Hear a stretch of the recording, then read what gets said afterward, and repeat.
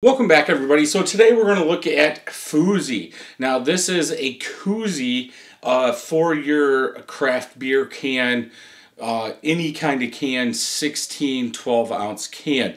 So I have three of them open here and they come in a cardboard box like this.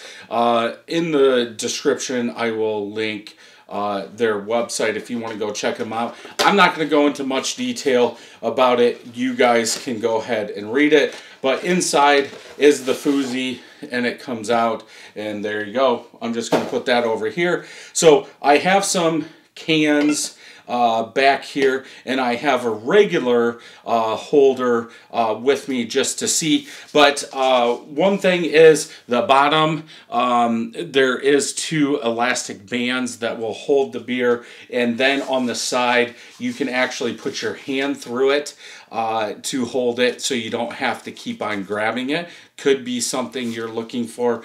Uh, again, go look at um, all the details about it. Uh, one of the biggest ones, it'll keep it cold. In my view, you're not going to sit on a beer for an hour, so I don't care how cold it keeps it. I'm going to drink it a lot faster than that. So I have one. Uh, let's see how it fits pretty good fit. Even if you push it down, I can't push it out. So if you're worried about uh, the two uh, cross members at the bottom, it's not going to come out. It almost, well, it it almost feels like it sits on the lining, not down in here. Uh, but if you want to pop it out, you can. If we look at a regular one, uh, when you put it over here. Now this is a bigger one, so uh, yeah, it works almost the same. So it'll be up to you, but let's go ahead and focus on the Phoozy uh, more than anything. You can plop it in there, open your beer. You can drink it depending on which hand you are. I guess if you're left-handed and you're putting your hand in here and you can turn it drink it. It works fine. I've got a Shorts beer. That fits in there too. Uh, you do, because of the grip, you do have to turn the can after you place your hand in there to where you're going to drink it, depending on how you're going to drink it. Are you going to drink it like this? Are you going to drink it like this? That's all going to depend on you. But if your hand's in there, works fine. I think it's too tight. It's not big enough. Um, I could have big hands, but it's almost like my fingers are too um, clamped together when I use this. Like, I don't want them like that. When I hold something, I'm like this, so there's airflow, uh, but that might not be you. Uh, 16 ounce can. They have 16 ounce ones. Uh, this one's cool.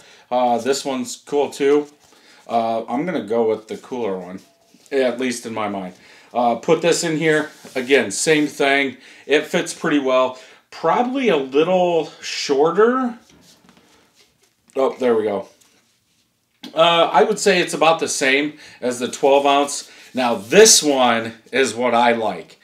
Uh, it doesn't feel as tight as the 12 ounce one, trying to get your hand in there. Again, maybe I have big hands, but this one is a lot better. Again, you have to turn the beer, uh, the, the opening to where you're going to drink it, how you're going to drink it.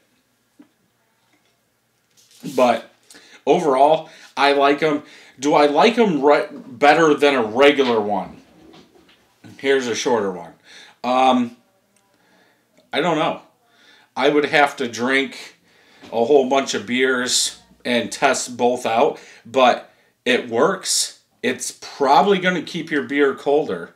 So if it's in the dead heat of summer, it's probably going to be better.